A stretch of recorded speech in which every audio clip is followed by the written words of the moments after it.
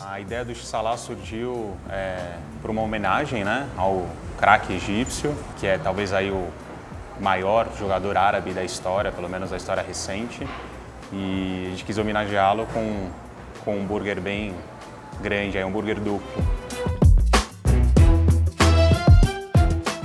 Grande diferença do x-salá para um x-salada tradicional é que o nosso é uma versão árabe, é um duplo burger de kafta de 150 gramas cada um.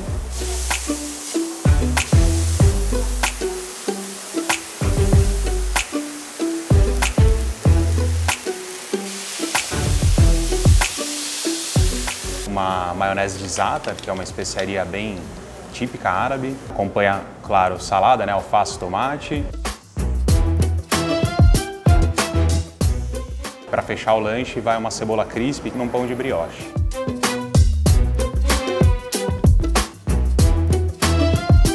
Desde que a gente inaugurou ele no cardápio junto com a, o início da Copa, é o nosso segundo lanche mais pedido. Acredito que o nome chame a atenção, né? Da, já pelo menos desperta a pessoa para saber do que se trata. E aí quando ela lê que é um hambúrguer duplo, né? Duplo queijo, enfim, é, é um matador aí de fome. Importância do salá para o orgulho árabe, primeiro de tudo, acredito que leva o nome do Egito e de, dos outros países de língua árabe para o mundo, né? mostrando aí a importância do, não só do futebol, mas enfim, da cultura árabe, fica aí em destaque.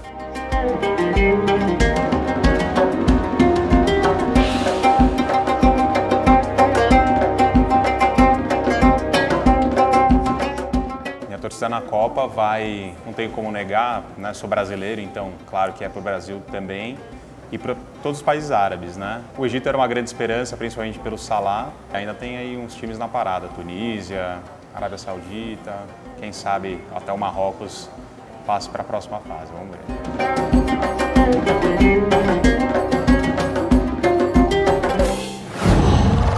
Qual